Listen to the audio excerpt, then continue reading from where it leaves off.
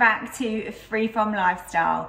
I'm bringing you today a week of family meals that are going to be perfect for Monday to Friday, very easy to prepare, tasty of course, and will suit all of the family, even with some fussy children. As always, I'm going to give you some gluten and dairy free options in case you need those, but these are all very versatile recipes which are going to be delicious for the family to enjoy. My first recipe of the week is my fish finger pie. Now this is a very easy put together dinner It doesn't take much cooking whatsoever but it's a real hit in my house and I think that children in particular are going to absolutely love this and I have to say my husband liked this one too. So nice and easy and it's also very cheap as well. So that's great in this economic climate that we're in at the moment. The cheaper the better so we've just got some white potatoes here some baked beans and some gluten-free fish fingers. Of course, if you're not gluten-free, you can just use regular ones. To begin with, I'm gonna get my oven tray here and then my fish fingers, and I'm gonna cook these according to the packet instructions. This will be the base of the pie. This is probably the worst job now. We have got to peel these potatoes. That is my potatoes all peeled and chopped and in the water ready to be boiled. We want them to be lovely and soft and then we can make these into a gorgeous mashed potato. Potatoes are perfectly cooked. I'm gonna steam up a bit, I think, here. So into here, we are gonna add some of our butter. Into this, it'd be really nice if you could add some fresh chives, that would be lovely. I'm keeping this fairly plain. I just wanna show you how delicious this can still be and it works for the whole family. Another way you could make this if you do not like baked beans or your children don't like baked beans is I thought you could cook some peas, put the peas through the mashed potato and just layer that on top of the fish fingers with loads of cheese or mozzarella on top. That would be a delicious alternative as well. Fish fingers straight from the oven, lovely and warm. And now to pop on our baked beans. And now for the mashed potato. So I'm just going to spoon it over like so. You can fork the top just to give it a little bit of texture. And the last thing to add is your cheese. This needs to be baked in the oven for about 15 minutes. And here it is out of the oven, my fish finger pie lovely and crispy on the top with that gorgeous oozy cheese.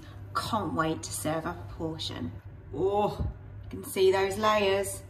Let's pop that in my dish. And that is my dinner. My second meal of the week is my vegan sausage casserole. Of course, if you don't want to use vegan sausages, you can use regular pork sausages or you could use chicken sausages. So again, it can be kind of changed to your lifestyle and how it works for you. But we like to have a meat-free day in the week. So this recipe is absolutely perfect for that.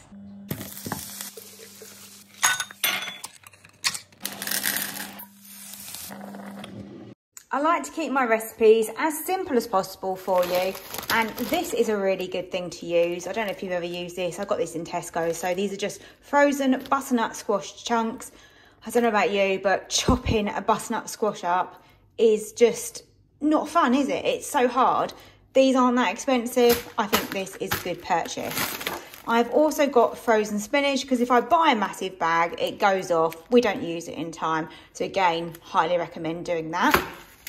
Slightly random ingredient in this is some mango chutney, but I think a lot of us who eat Indian food would probably have that in the fridge. Tin of cannellini beans, some chopped tomatoes. As you see, I pick these up when they are a little bit damaged, saves on cost a little bit.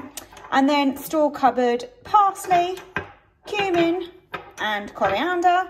I have got a stock cube, which is a vegetable one, a couple of garlic cloves. You can use lazy garlic if you prefer.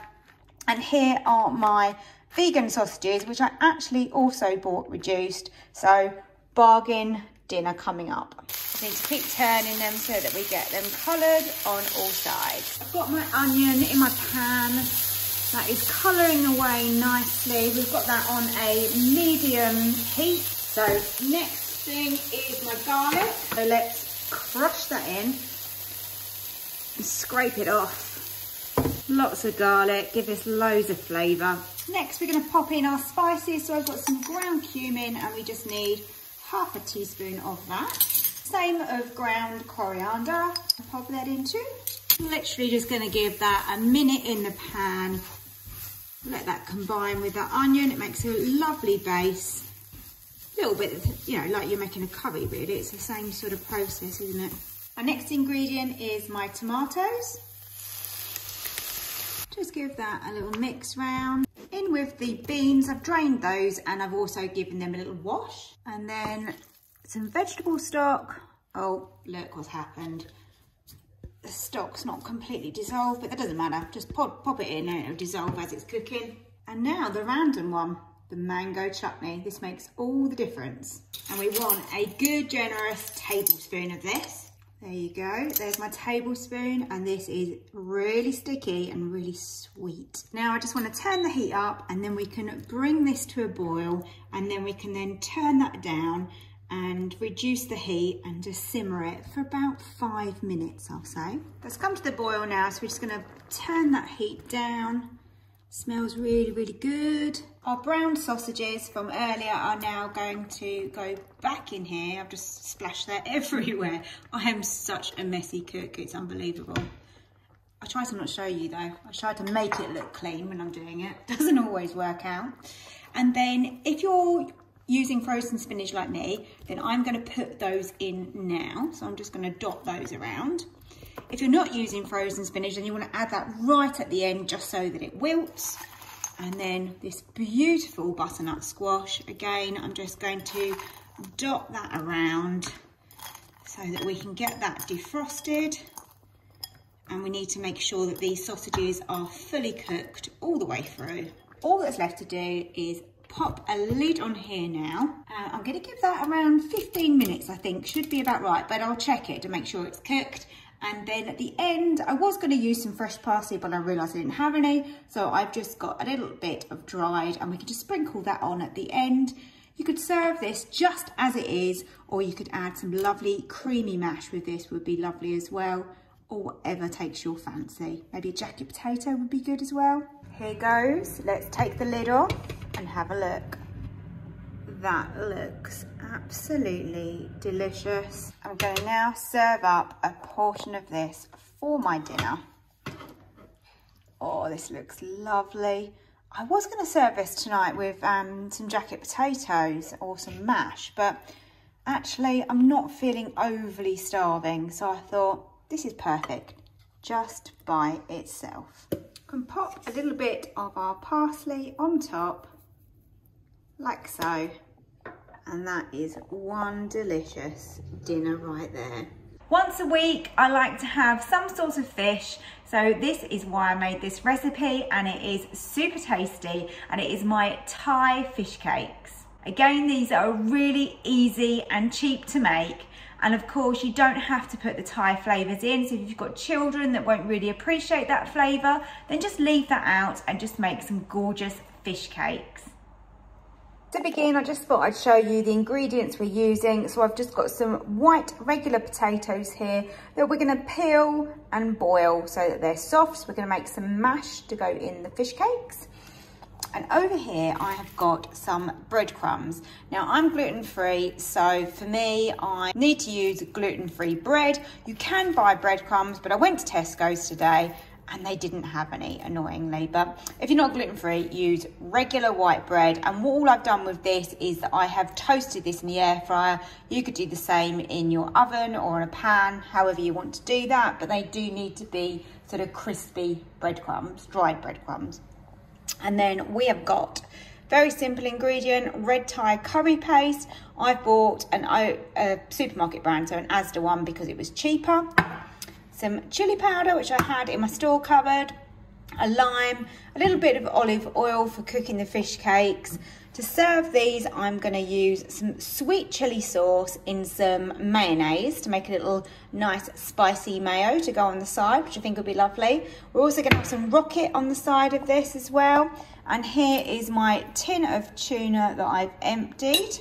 I nearly forgot, a couple of spring onions are needed as well. So let's begin with the potatoes. We just need to peel those. Now I'm just going to chop up the spring onions into quite fine little pieces like this. You could also add into here some coriander because that would work really well but it's just not my favourite herb so I'm leaving it out but I do know that a lot of people would like coriander with that sort of Thai flavouring.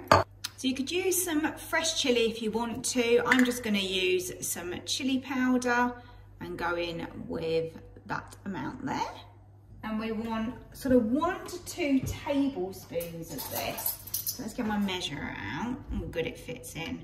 So should we go with two? Why not? Let's go with two. Let's give some real good Thai flavour to these. Got a lime here and we're just going to get some of the zest off, give this a lovely fresh zing, which will work so well with the tuna and the Thai flavours. Perfect, that is the lime juice going in. Let's give that a little mix, shall we? And then we can add our breadcrumbs as well. These aren't particularly fine. I could put these in a food processor, but if I'm honest, I can't be bothered with the washing up tonight. So I'm just gonna break them up a little bit more with my hands. And now we just need to wait for the potato to finish cooking and then we can add the potato into here. Potatoes are drained and I've added just some salt and pepper to them. And all we're gonna do is just give them a little mash. So let's pop the mash into here. I really hope you give these a go at home and please do leave me a comment. Fish cakes are now cooked. I'm serving two each and on the side I'm going to serve this lovely sweet chili mayonnaise. If you don't want to use mayonnaise, then you could use um, some Greek yogurt or something like that in with the sweet chili. That would also be really nice. There it is. So I've got a rocket salad with my tuna Thai spiced fish cakes and that gorgeous sweet chili mayo. Next up is my bacon and leek gnocchi. We absolutely adore gnocchi and I think it makes a change from having pasta as well or potatoes. It's somewhere in the middle, isn't it? And um, really easy to cook, of course. It only takes literally a couple of minutes. So this is a real quick, just quick dinner that you can put on the pan, on the hob, no no real mess very simple i think you're going to love this one here are the ingredients that you're going to need for this dish so i've got gnocchi here I've got frozen peas, some parmesan, some bacon, which I've already chopped up. This is two small leeks or use one large one. I've got some garlic cloves there and also a lemon.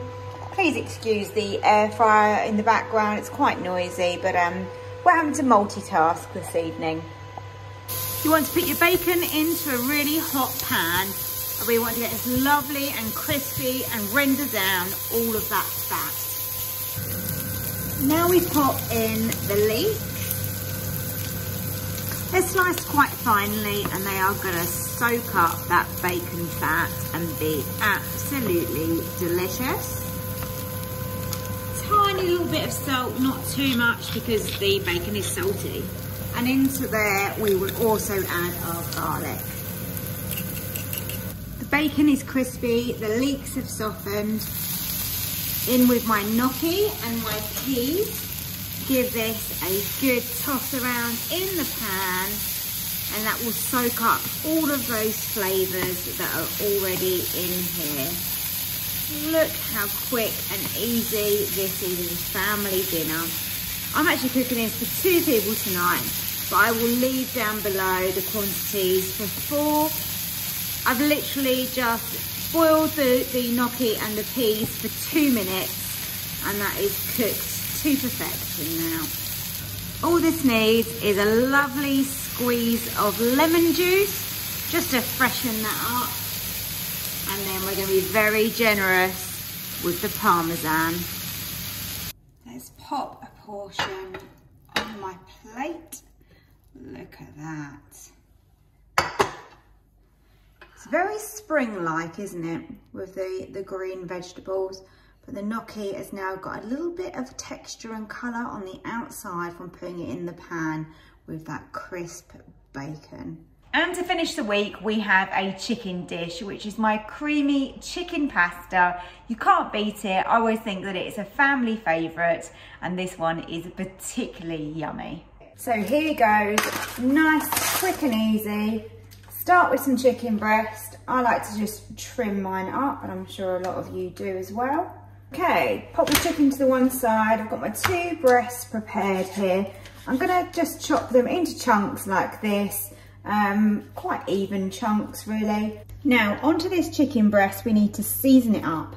Make sure it has loads of flavour because this is really the base of the sauce our pasta is going to go into. So the more flavour you can give the chicken, the better. Really, you can add what you like at this stage. Um, but I like to have some salt, some black pepper, I'm gonna go with some smoked paprika as well. That's just gorgeous. Who doesn't love that? Be quite generous with that.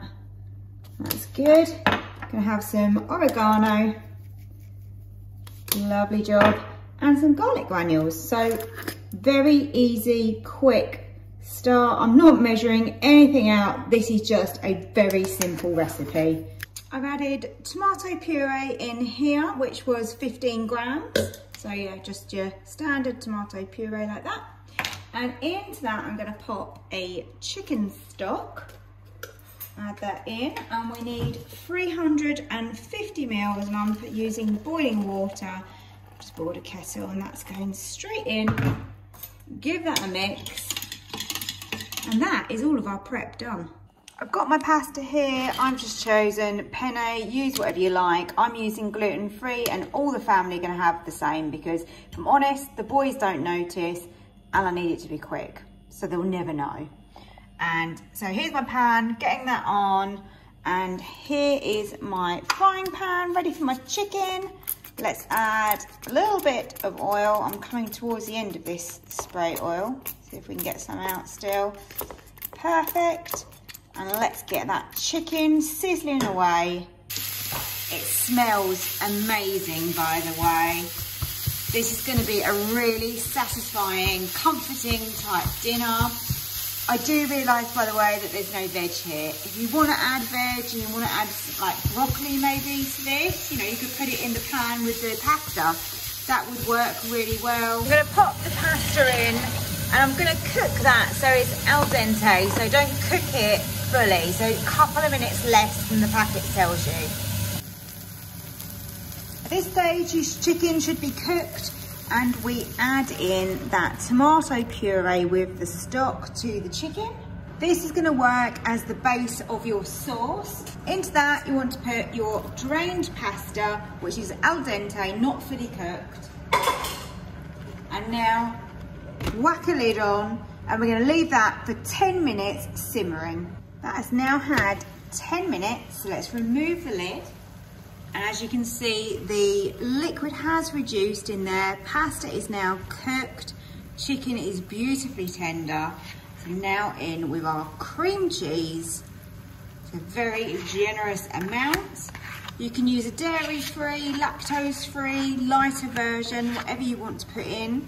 And just give that a little swirl around in the pan and this is going to create such a beautiful sauce. It's going to coat all of that pasta and make this super creamy. Now that that's combined, just pop in whatever cheese you want to. I'm going with a low fat cheddar in this. You could use Parmesan and let that just ooze and melt into that pasta. The creamiest chicken pasta in no time at all with more or less zero effort. I'm now gonna go and tuck into this I am starving. I really hope I've given you some inspiration of what you can make for a family. These recipes are all so, so simple and delicious. And these are the sort of things that I don't just make once, I make very regularly. So these are tried and tested and enjoyed. I hope you've enjoyed this video and found it useful. And if you did, I'd love it if you hit that like button below and subscribe to my channel for more videos. Thank you for watching and I'll see you next time. Bye.